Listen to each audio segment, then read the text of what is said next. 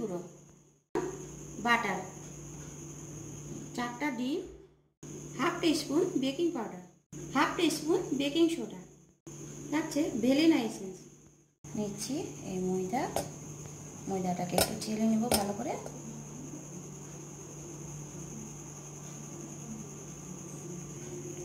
Baking soda, baking powder দিয়ে দিলাম। এবার চেলে নিচ্ছি ভালো করে।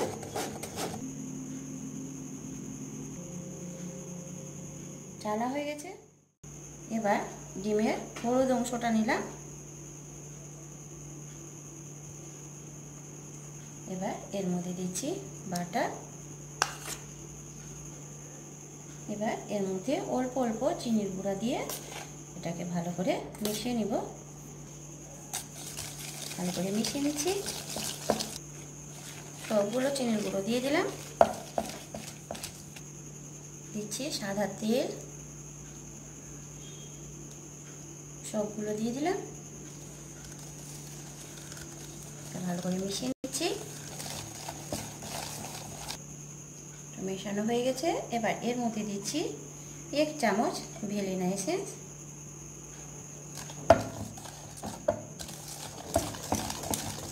মিশিয়ে নিচ্ছি। এবার দিচ্ছি ময়দা। অল্প অল্প করে দিয়ে দিয়ে ভালো করে ফেটিয়ে নিব। এবার সবগুলো দিয়ে দিচ্ছি। এবার এর মধ্যে দিয়ে দিচ্ছি দুধ। সবগুলো দিয়ে দিলাম।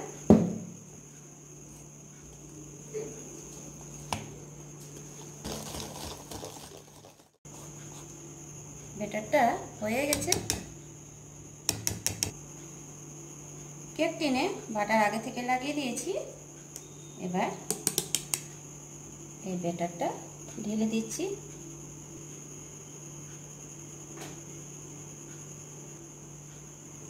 এবার হাত দিয়ে এভাবে এভাবে মিশিয়ে দিচ্ছি, যেমন হাওয়াটা বেরিয়ে যায়, না তো কেকটা ফুলবে না। ওভেনটা আমি প্রিহিট করে নিয়েছি। এবার একশো আশি ডিগ্রি সেন্টিগ্রেডে পঁচিশ থেকে ত্রিশ মিনিট বেক করে এবার সাবধানে রেখে দিচ্ছি।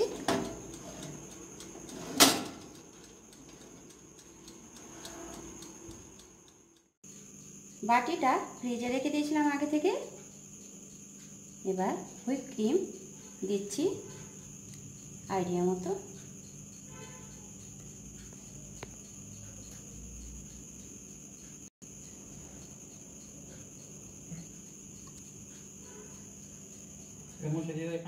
বিট করে নিব।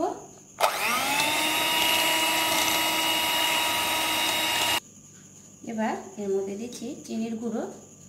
দুই চামচ।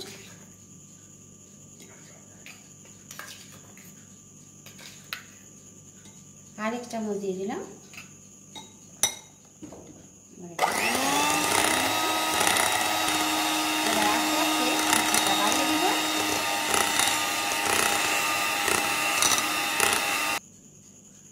ক্রিম হয়ে গেছে জমে গেছে।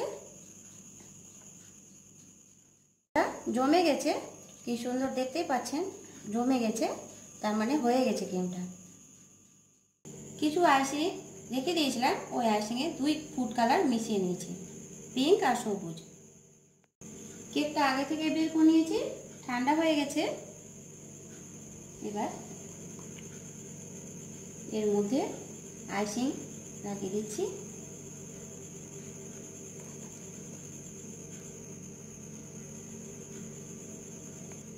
পুরো ঢেকে দিব। পুরোটা ঢেকে দিব। এইভাবে। প্রথমবার আইসিং লাগিয়েছি, অত ভালো হয়নি। ভালো করার চেষ্টা করছি। এবার নিয়েছি গ্রিন কালার। এবার আমি ফুল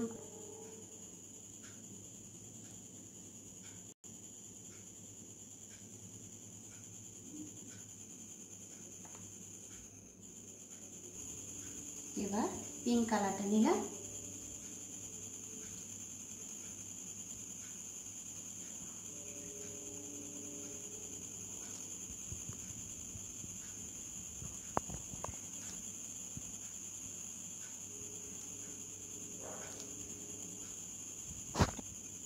এবার এর মধ্যে দিচ্ছি সবুজ কালার